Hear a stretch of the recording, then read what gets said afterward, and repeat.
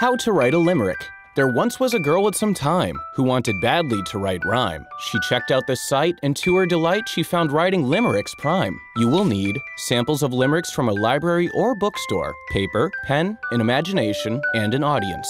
Step 1. Read other limericks to get an understanding of limericks. You can find collections of limericks at your local library or bookstore. Step 2. Learn the limerick's form. A limerick is a five line poem, usually witty or funny, where the last words of lines 1, 2, and 5, which each have 8 syllables, rhyme, and the last word of lines 3 and 4, which each have 5 syllables, rhyme. Step 3. Write the first line, introducing a character or a location. The last word needs to rhyme with the last words of lines 2 and 5. Remember, limericks are meant to be funny, so setting up your joke or idea strongly at the beginning helps the rest of the poem. Step 4. Begin line 2. This line should introduce a plot. The last word must rhyme with the last word in line 1. Step 5. Construct lines 3 and 4 by thinking of two rhyming words that can serve as the last words of these two lines. These lines can introduce a problem, solution, or maybe just something that makes the story funny.